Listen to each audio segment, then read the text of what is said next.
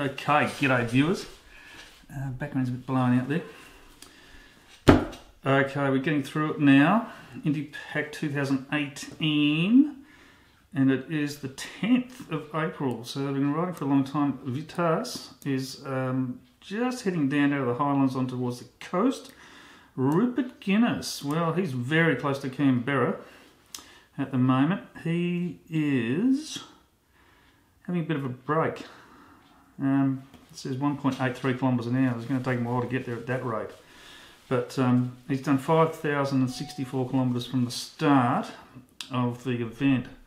So he's doing really good. He's just about out of the high country. San Road is next. Bernard is down the road a little bit further.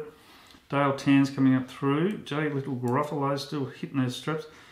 Bomb Whiskey is um, through the Highlands pretty much now. Louise is just behind Mr. Psychology Justin McLean in the Highlands. Uh, Henry Yates has left Melbourne, is heading out of town.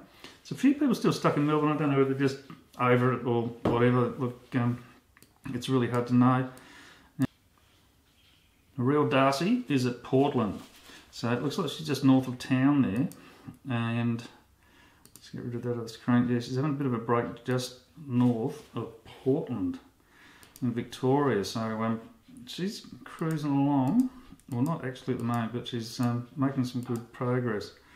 So it's only a short update today. So there's quite a few people finished, but um, been keeping a good eye on um, Rupert Guinness to see how he's heading along towards. He's just coming out of the really high stuff now, I reckon. Um, and then head down the valleys and along. It's a bit lumpy still, obviously, but he's going to get out of the highlands and onto the coast. And then the other last bit of climbing is really through the national park just south of Sydney. And um, he'll be there. Um, but, uh, and who's going to arrive first? Vitas. Vitas from the United Kingdom, 50 year old.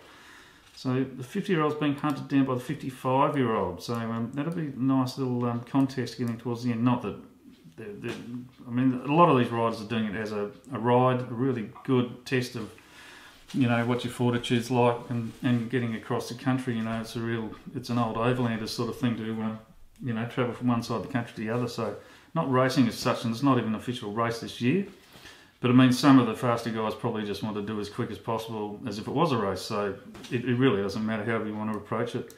So it's great you know they, they're getting through it. So um, that's it for today. See you later